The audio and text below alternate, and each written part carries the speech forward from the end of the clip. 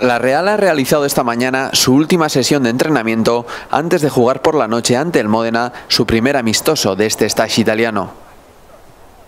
Los hombres de Montanier se han dirigido al entrenamiento y a las 10 en punto de la mañana han comenzado a ejercitarse en la ciudad deportiva del Parma.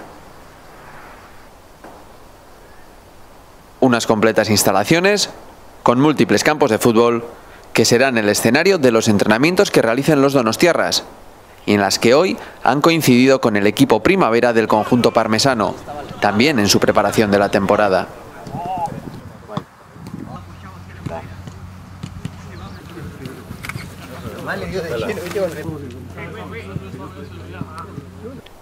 En la sesión llevada a cabo por el equipo Churiurdín, Carlos Martínez se ha ejercitado con total normalidad con el grupo, mientras que Eñaut Zubicaray ha realizado entrenamiento personalizado junto a Carla Larburu.